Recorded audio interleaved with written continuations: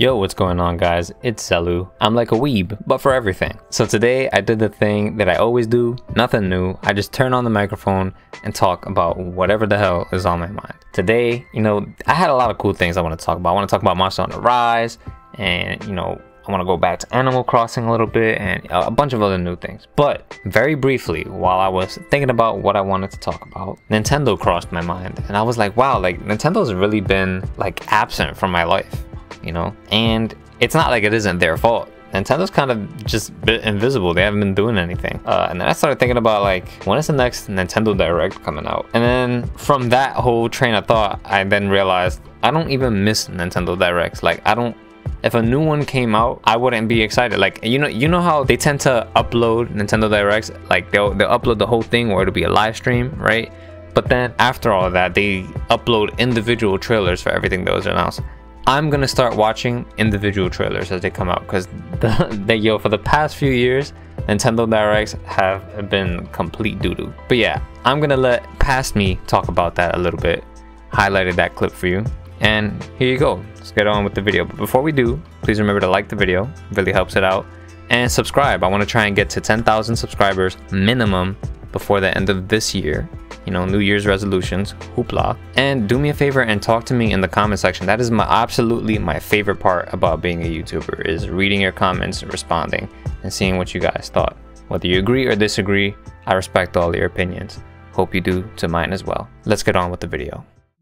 You know what I just thought about today? I was thinking about Nintendo and you know specifically Nintendo Directs. Like I miss Nintendo Directs, but not not just any old ones. You know what I mean? Like I miss the ones from like 2013 and and a little bit beyond. You know, like when Nintendo kind of felt like they were my friend, if that makes any sense. Before Mr. Iwata passed, and before you know Reggie stopped being president of Nintendo America and stuff like that, I felt like Nintendo Directs had so much personality, and it was kind of like they knew what they were doing. You know, in terms of like when they were trying to hype us up and show us stuff it's like they were in on the memes with us and on the hype as well. I feel like nowadays like i mean nintendo don't get me wrong nintendo has always had like drama but at least at the same time they were still like they were still kind of community driven even if they weren't fully aware of it themselves. The the two head honchos that we knew and loved most they definitely knew what the hell they were doing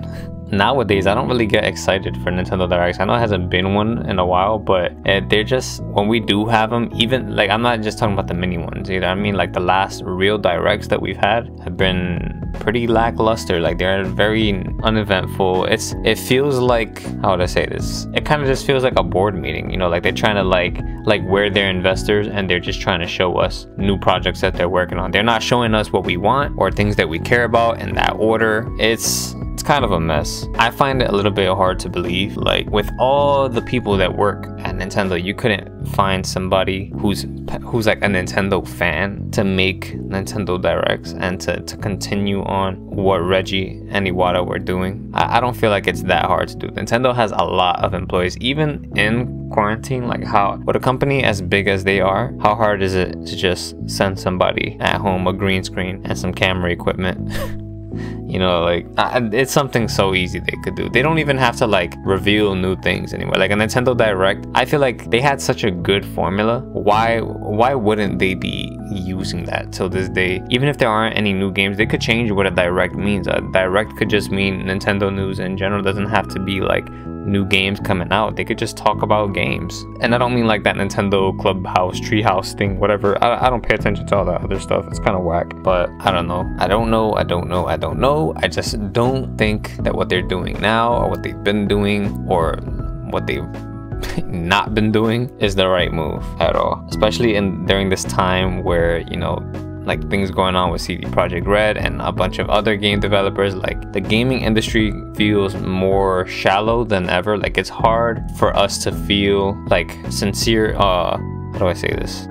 Game developers are artists, and a lot of them do what they do because they love doing it and they don't do it like strictly for the pay. They want to get paid for doing what they love, obviously. But a lot of them get jobs as video game developers because they love video games. And it's really, really hard for us as gamers, us the consumers, to not just feel like that's all we are as consumers the way that a lot of companies are, you know, they're all doing like the PR safe thing to do instead of just kind of vibing with us. The internet is so far beyond like regular pedestrian stuff. Like we are all so hyper aware of what's going on because we talk about it with other people who are enthusiastic about these things just as much as one another. So like the PR stuff, we don't care about it. But sadly, us like the communities online the different little micro subsections of gamers that are into different things the nintendo fanboys the, the specific game fanboys like there are millions of us but we make up such a small number of their sales. And frankly personally they're that's how they make me feel. They make me feel like i'm insignificant and like my opinions don't matter. Because i just feel like the gaming industry as a whole corporations don't listen to us anymore. Until they get in trouble or until their their sales go under or stuff like like they're waiting for catastrophes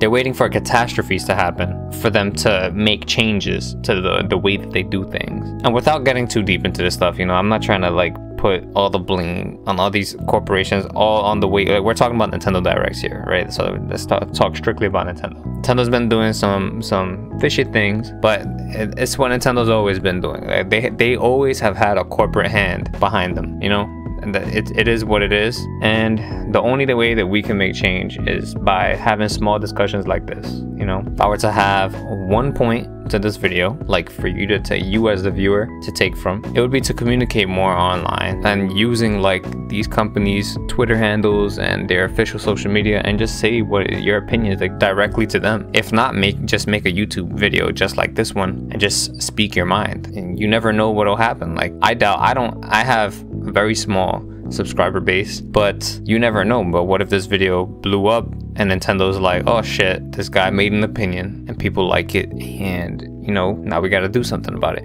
You never know what happens. Just voice your opinions and make sure that Nintendo and all the other game companies that you wanna love, tell them what you think. You never know. Anyways, I think I'm done getting that little Nintendo rant out of my system. I haven't complained about like Nintendo themselves in like a while. Like I, they've kind of they've kind of been like invisible to me.